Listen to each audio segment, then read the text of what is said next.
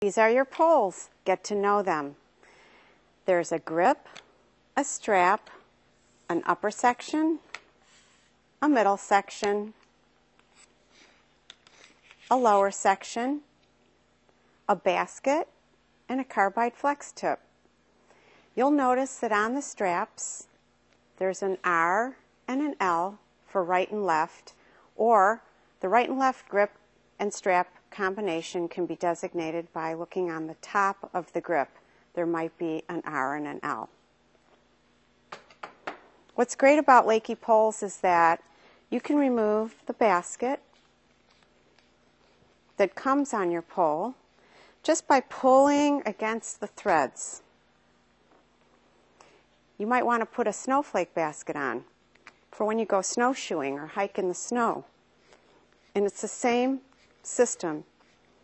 You just thread it back on until it hits the bottom of this black piece right here.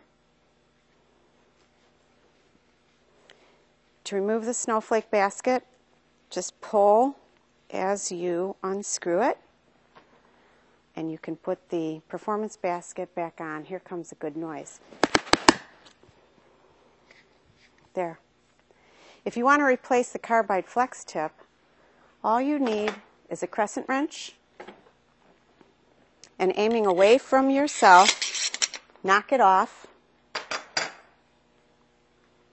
to put the new carbide flex tip on, put it on, and pressure fit it against the sidewalk or a metal bench like I have.